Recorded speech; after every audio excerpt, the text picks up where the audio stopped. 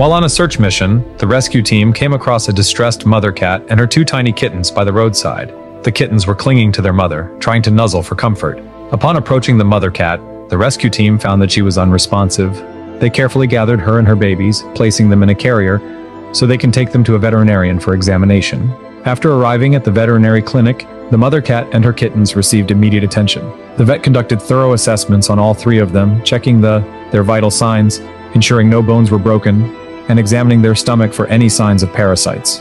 After receiving the proper medication, the mother cat's condition gradually improved, allowing her to move more comfortably.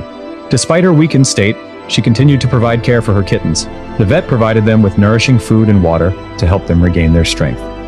The rescue team and the vet's care played a crucial role in restoring the mother cat and her kittens to a healthier state. If you want more videos like this, then subscribe